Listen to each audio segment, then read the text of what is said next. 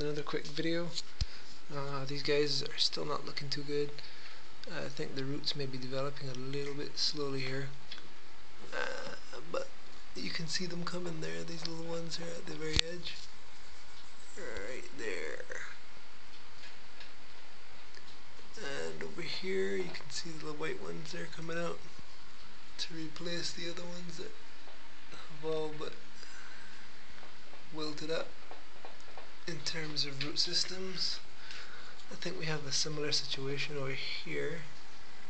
We've got these little white root stubs coming out trying to regrow new systems.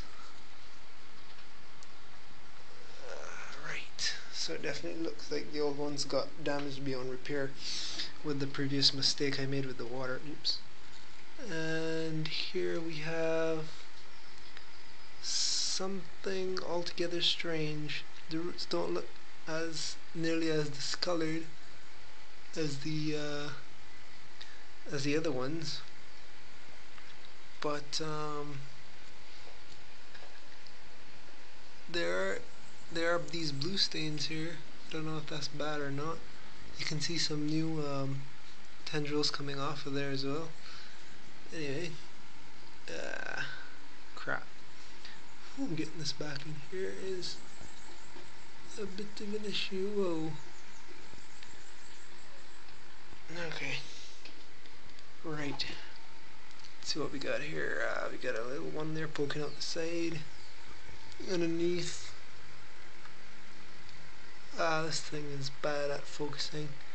You can see a couple fuzzy ones there coming out. So there may be hope yet for these guys. Yeah.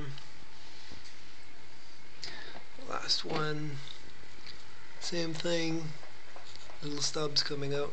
I think if we just leave them and they, um, I don't know, they make it in time, the roots will drop and they'll start picking up the nutrients they need again, hopefully. And I'm crossing my fingers that I got the solution right this time. Okay, now uh, over here we have signs here of deficiency. The edges are turning yellow.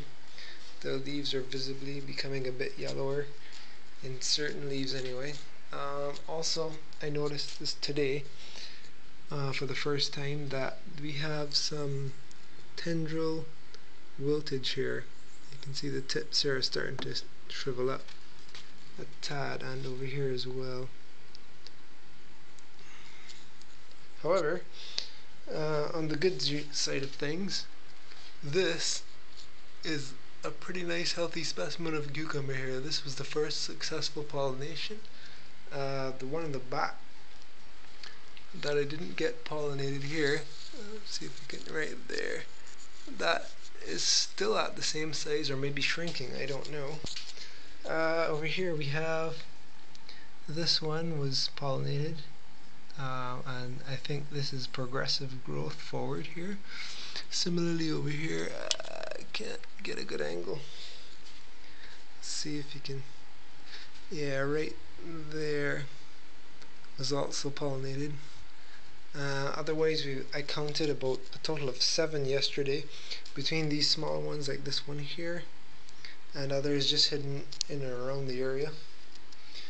But um, I think all eyes are on this little lady right here to see if we'll get at least one successful cucumber from this before uh, I don't know if it will, if it'll reach some sort of critical point where it can't sustain anymore in this small container.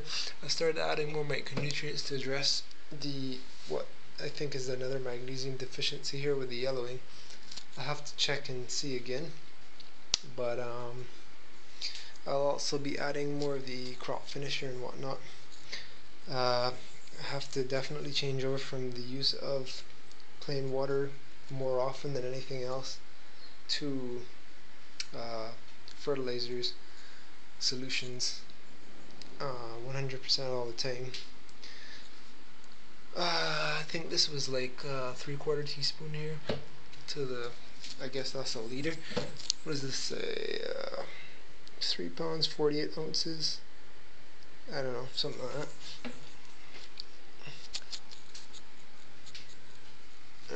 Okay. Over here, tomatoes doing good. Looking very nice, getting bigger by the day. Lettuce, carrots. You can see the, uh, the things coming out the middle. Well, I can see them. I don't know why this camera won't pick it up.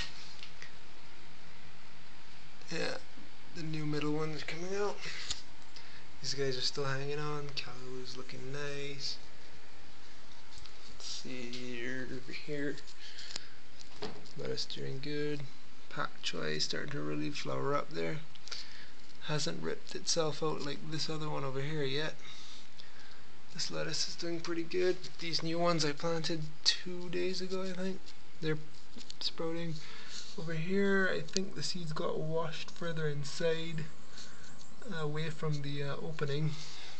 May have to do something there if they don't figure out a way to pop through that opening by themselves. Um, otherwise, I think that's it for today.